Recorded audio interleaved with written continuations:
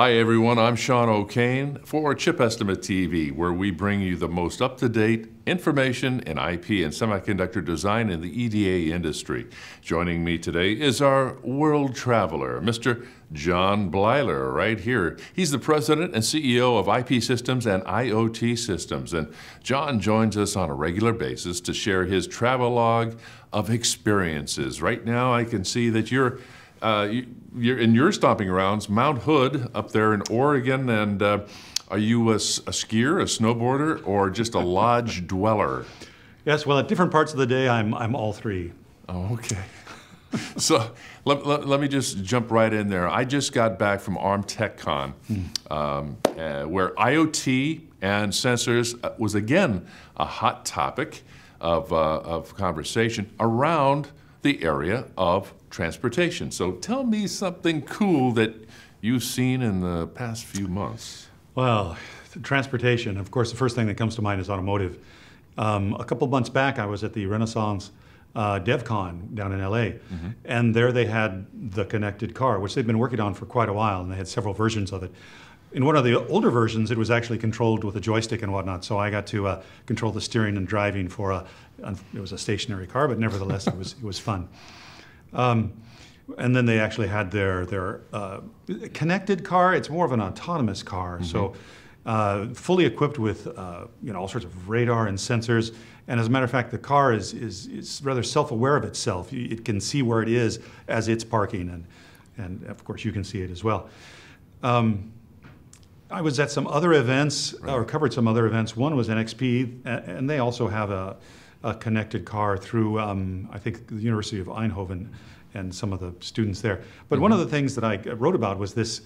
Um, you know, for these connected cars to be safe, it's been in the news a lot, they're going to need a lot of uh, security updates, a lot of patches. Well, who do we know that is great at doing uh, patches and oh, updates? Well, hey, hey, go ahead, say it. Well, uh, Microsoft, right? Oh.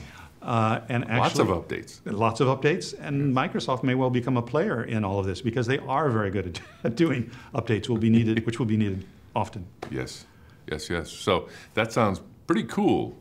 Um, now, tell me what's new in the world of IP and hardware, software systems. Can I uh, can I use the word IoT or you you may use the word and the acronym IoT. Okay. Or as Cisco says, Internet of Everything. Yes, that's that's true. And they, they like do two that. snaps up. but anyway, tell me. Great, great.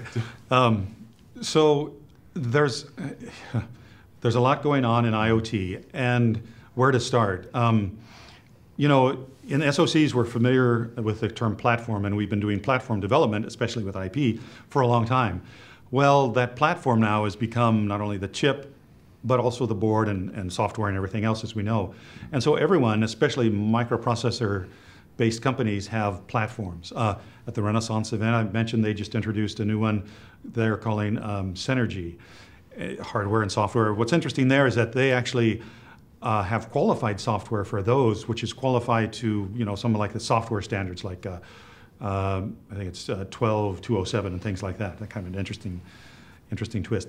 Um, you know, Mentor and Synopsys mm-hmm. and Cadence. Cadence has the the close IP connection with ARM announced, I think, last year, and, and it's evolving even more now into an offering of IoT. Mm-hmm. Um, and I've probably left others off the list here. Imagination, I know, is in there right. as well with MIPS and whatnot. Um, and ARM uh, Perfect recently announced their Design Start, which, which is something a little bit different. Mm-hmm. So, uh, ARM Design Start uh, is their new IP online access portal. So, uh, talk a little bit more through that about, about this offering. Well, so the, the initial offering, and I, I probably have the, the, number wrong, but they have like a quick start with their Cortex Zero. It's like 40K or something for, for the licensing part of that, which is very um, reasonable. But the other thing that's happening, and it's, it's a very timely thing, because the other thing that's kind of happening now, especially mm. with the IoT, is the older nodes, like 180 nanometer and whatnot, those further back on Moore's Law, mm-hmm. are now perfect places for things like IoT. Right. So it is arguably a time when you, when a startup or a small company could use, um, could make an SoC of their own uh, back at one of those nodes, at which at which uh, IoT is very happy. And that's one of the reasons why um, MIT has referred to this now as the as hardware is the new software, because you can begin to make these chips at um, at costs that can be reached, and there's other benefits for doing it besides cost. Right. And so using those commodity nodes at you know 180 uh, nanometer and, and and and so on, so cost effective, they get reused. You know, and uh, and the reason why they're cost effective. Tell me if I'm right or wrong. Is is the the process getting to smaller, smaller, smaller nodes is really expensive. Is it not? It's it's really expensive. Yes. Yeah.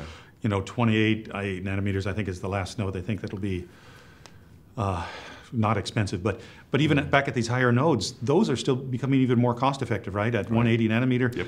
wafer costs continue to go down at about five percent. So. Not necessarily Moore's law, but it's it's still got a lot of life to it. It'll have a lot more life. What else is new? Anything else?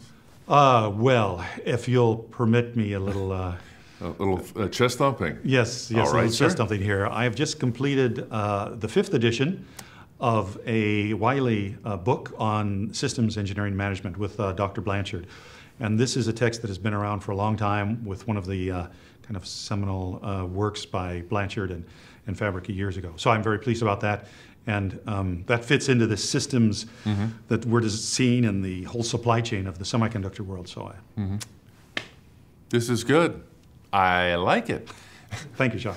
Hey, I really appreciate you stopping by. And, uh, you know, John uh, meets us here uh, once a month or so, uh, depending on his schedule and his travel schedule. But we really appreciate him stopping in, and just kind of giving an update on what's new and exciting out there. So, for Mr. John Blyler, my name is Sean O'Kane, and we'll see you next time on Chip Estimate TV.